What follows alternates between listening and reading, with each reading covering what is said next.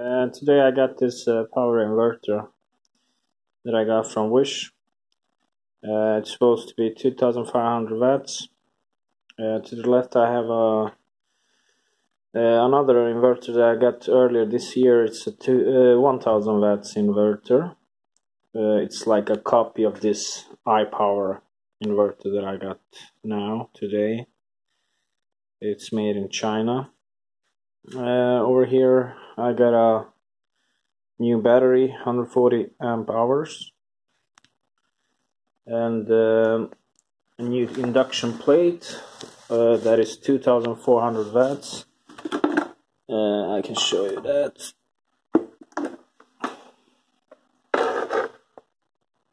See here 2400 watts. And the induction plate has uh, nine stages here see 1 to 9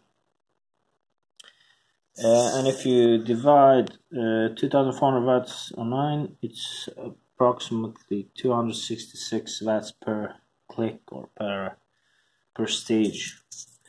Uh, and here you can see uh, that stage number 1 is 266 watts. Stage number 5 is 1330 uh, watts and so on I just want to see approximately if it can handle this uh, uh, induction plate because I'm gonna use it for that. Uh, and uh, we can put the water on. We can show I can show you the um, the inverter here that we have power 12.6 volts. Uh, inside this inverter you can see that looks well built but I don't like what I see here. It's uh, only four that I think it's 500 watts in uh, transformers. And in this uh, 1000 I only got two so uh, I believe this uh, big one is actually not a 2500 watt inverter it's just approximately around uh, 2000 watts inverter. But I'm gonna test it so the induction plate is 2400 and if it can handle that then maybe it is a 2500 watts inverter. It depends if it can handle it. And so let's test the let's test uh, let's test it and see if it uh, can do it. Uh, we can start off uh, uh, oh, it's dead. Let's restart this guy. Oh, so uh, we can start off by uh, maybe six. Six is uh, 1596 watts, and it should handle that without any problems. So the fan start and this guy beeps.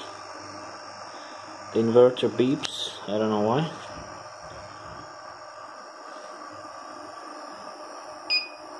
Let's try seven. Seven works good. Let's try eight works. The water is getting warmer.